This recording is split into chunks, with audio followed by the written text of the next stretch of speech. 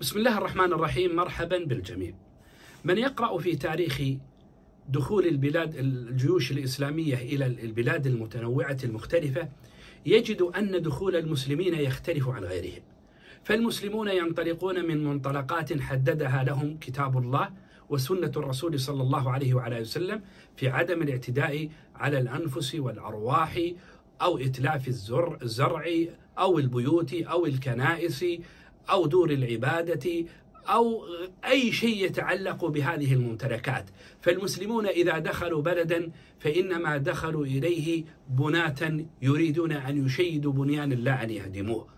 وهذا واضح حتى في الخطابات والأوامر التي كان يرسلها الخلفاء كأبي بكر وعمر وعثمان رضي الله عنهم جميعا فإنهم كانوا يوصون قادة الجيوش الإسلامية بالإحسان إلى الرعايا من أهل تلك البلاد وعدم التعرض إليهم.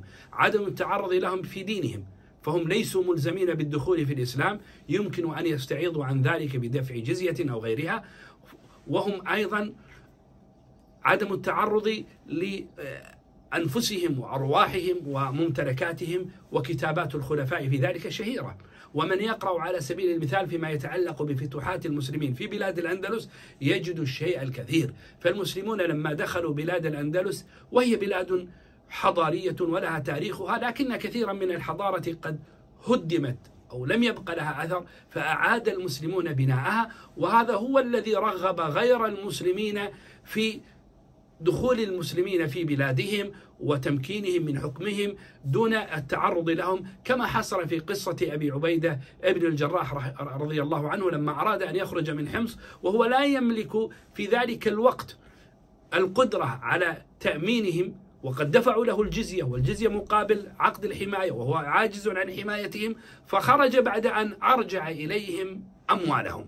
أما لو نظرت إلى كثير من أولئك الذين دخلوا في البلاد سواء بلاد المسلمين وغيرها من أمم الكفر فإنهم لا يتوانوا عن تهديمها وتغريبها وقتلها. يبدأون على سبيل المثال بالقتل فيقتلون كل من يخالفهم الرأي من أهل تلك البلاد. وما قصة دخول القوات الصليبية أو من بعدها حتى من قوى الاحتلال في تاريخنا المعاصر مثل بريطانيا وفرنسا وأسبانيا وإيطاليا والبرتغال كيف أنهم أزهقوا الأرواح ودمروا البيوت والمساجد وحولوا المساجد إلى مرابط لخيولهم وفعلوا في تلك البلاد الأفاعيل والتي ما زالت آثار تلك الأفاعيل موجودة إلى يومنا هذا. تعرضوا حتى للهوية تعرضوا للهوية وحاولوا أن يغربوا في آه، هوية البلاد التي دخلوها كما صنعوا في تونس والجزائر وكما صنعوا أيضا في مصر وسوريا يريدون أن يدخلوا تلك البلاد فلا يبقوا, فلا يبقوا لها أثرا آه، من هويتها أو حتى من معالمها وتاريخها، بل صاروا سراقا، سرقوا الكثير من التراث الذي كان موجودا في البلاد الإسلامية من الوثائق والمخطوطات، بل وحتى والمقتنيات التي كانت موجودة في تلك البلاد الإسلامية. ذكرت هذه المعلومات حول ما يتعلق في سلسلتنا هذه تاريخ الأمم وما يتعلق بدخول المسلمين أرض مصر. فالمسلمون استطاعوا في زمن عمر رضي الله عنه أن يفتحوا الإسكندرية وأن يفتحوا مصر وأن يصلوا إلى نواحي ما يسمى اليوم بالقاهرة القديمة واستطاع عمرو بن العاص رضي الله عنه أن يمكن للمسلمين حكما فيها. لكن هذا الأمر بطبيعة الحال لم يعجب الروم وهم الجنس الأوروبي الموجود في أوروبا اليوم مع تركيا، لم يعجبهم هذا الأمر لأنهم يرون أن الإسكندرية تعد مدينة مهمة جدا لا يمكن لهم أن يتنازلوا عنها في حال من الأحوال، ولذلك أرسلوا جيشا بقيادة منويل لقتال المسلمين في مصر. واستطاعوا أن يغروا بعض المصريين في الإسكندرية وغيرهم على إقامة ثورة ضد القوات الإسلامية الموجودة في الإسكندرية وفي نواحي مصر. وعمرو بن العاص كان موجودا في مصر، وقبل ذلك كان عثمان رضي الله عنه قد جعل أمر مصر لقائد جديد، لوان جديد وهو عبد الله بن سعد بن أبي سرح. فبدأت التهديدات الرومية للقوات الإسلامية الموجودة في مصر، فكتب أهل مصر من المسلمين إلى عثمان رضي الله عنه يطلبون منه أن يرجع إليهم عمرو بن العاص ليكون اميرا على مصر فهو أعلم بتاريخها ومواجهة الروم وبالفعل أرجع عثمان عمرو بن العاص فكان واليا على مصر وهو القائد الأعلى للقوات الإسلامية في مصر التي ستواجه هذه الثورة المضادة في آه، الإسكندرية وفي بعض النواحي. دخل جيش منويل الإسكندرية وعمر كان في آه، مصر القديمة هي القاهرة اليوم وبدأوا يدخلون وكان هناك بعض المصريين ممن مالأوا وواطؤوا الروم ضد المسلمين وتركهم عمرو. وبدأ الجيش الرومي يتقدم من الإسكندرية إلى نواحي النيل نواحي مصر. فقال عمر اتركوهم حتى يرى المصريون ما يصنعون بهم.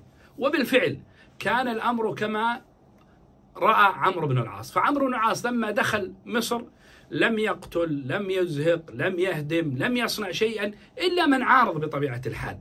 لكن هؤلاء الروم لما دخلوا فعلوا عكس ما فعل عمرو بن العاص. ففي أثناء مسيرهم من الإسكندرية إلى مصر وهي القاهرة كما ذكرنا هدموا ما أمامهم من الدور وأتلفوا ما مروا به من الزرع وقتلوا الكثير من الناس حتى ضج المصريون بما صنع هؤلاء الروم. ووقفوا مع جيش المسلمين ضد هذه الثورة المضادة. واستفاد عمرو بن العاص رضي الله عنه من هذا الإجراء كثيرا. وكأنه يقول للمصريين انظروا إذا حكمكم غير المسلمين ماذا يصنعون بكم؟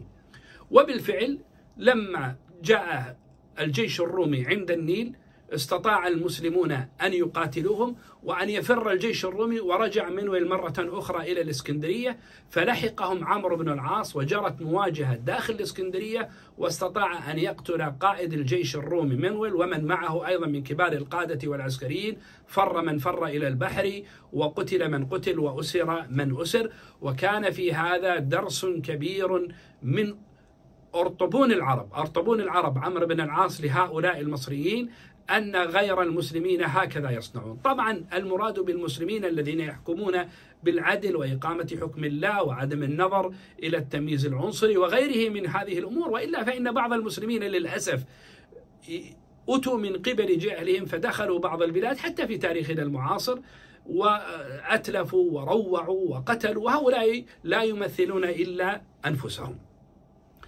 توطد الأمر لعمرو بن العاص واستقرت له الأمور وتحولت الإسكندرية بعد أن كانت بلدا مضطربا إلى بلد مستقر آمن.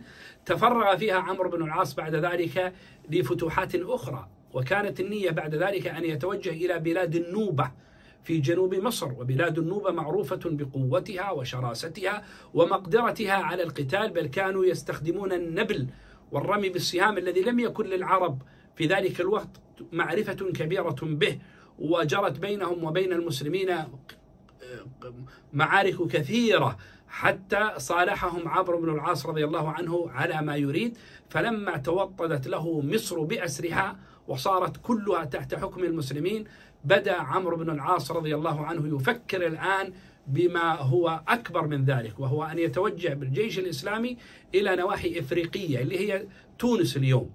فيريد أن ينطلق من نواحي ليبيا اليوم التي خضعت له أيضا وأن يتوجه إلى فتح بلاد المغرب. وبلاد المغرب تنقسم إلى المغرب الأدنى وهي بلاد إفريقية تونس والمغرب الأوسط وهو جزء من الجزائر والمغرب اليوم والمغرب الأقصى وهي بلاد المغرب.